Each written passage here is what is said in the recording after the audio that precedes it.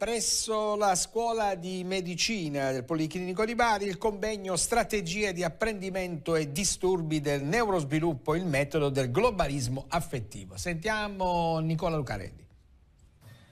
Il sottosegretario di Stato alla Salute, l'onorevole Marcello Gemmato, ha presenziato questa mattina alla proiezione del cortometraggio La Casa delle Letterine, che si è tenuta presso l'Aula Magna De Benedictis della Scuola di Medicina e Chirurgia del Policlinico di Bari.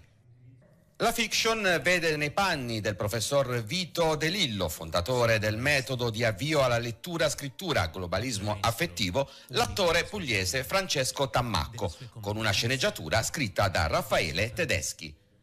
La proiezione è stata realizzata in occasione dell'evento formativo dal titolo Strategie di apprendimento e disturbi del neurosviluppo, il metodo globalismo affettivo, nato dalla collaborazione ormai decennale tra l'Università degli Studi di Bari Aldo Moro e il fondatore del metodo di avvio alla lettoscrittura globalismo affettivo, il maestro De Lillo. L'evento è stato aperto a professionisti e specialisti dei diversi settori coinvolti nel processo di apprendimento di bambini con disturbi del neurosviluppo, nonché agli studenti universitari dei corsi di laurea di medicina e chirurgia e delle professioni sanitarie.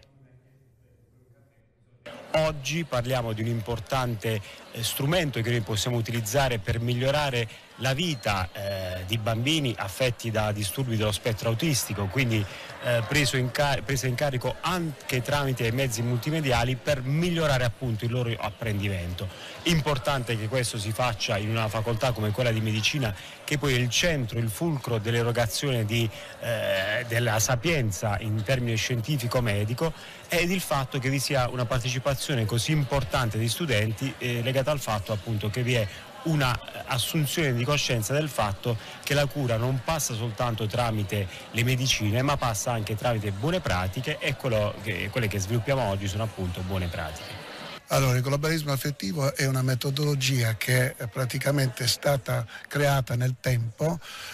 partendo prima dai bambini in situazioni di difficoltà di apprendimento, quindi svantaggiati e anche in situazioni di disabilità, bambini che non riuscivano a leggere, a conoscere le lettere e allora eh, in un primo momento parlo degli anni 80, 90, ho iniziato con l'utilizzo della tecnologia, però poi mi sono reso conto che l'apprendimento era abbastanza strumentale, occorreva qualcosa di più, occorreva coinvolgere i bambini in tutto il loro essere persona, coinvolgendo anche la sfera affettiva ed emotiva.